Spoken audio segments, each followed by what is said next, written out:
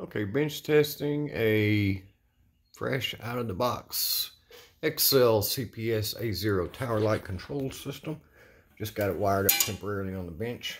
Uh, and what I have attached to it here is just a little LTP photo cell.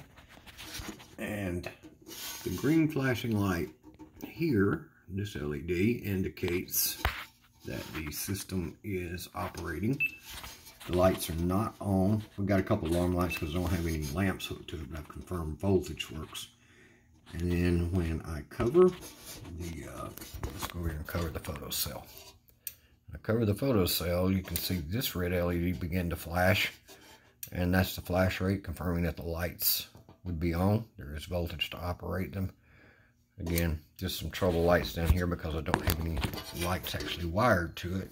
So it has no load and it's sensing, according to zero, that there are no lamps burning. That should indicate the number of lamps that are operating. So it works.